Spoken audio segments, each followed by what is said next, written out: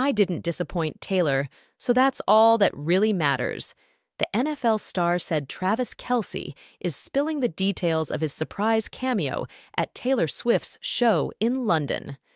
On the season two finale episode of The New Heights with Jason and Travis Kelce podcast that published on Wednesday, July 3rd, the NFL star, 34, opened up about the experience of joining his girlfriend on stage for her Eras concert at London's Wembley Stadium, saying the whole thing was actually his idea. I initially mentioned it to Tay.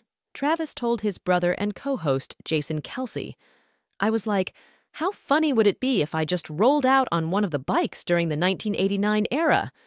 Swift, 34, initially laughed at the idea, Travis said, before asking, would you seriously be up for doing something like that?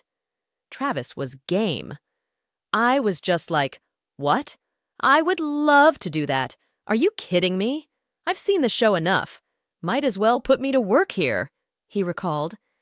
And sure enough, she found the perfect part of the show for me to come in.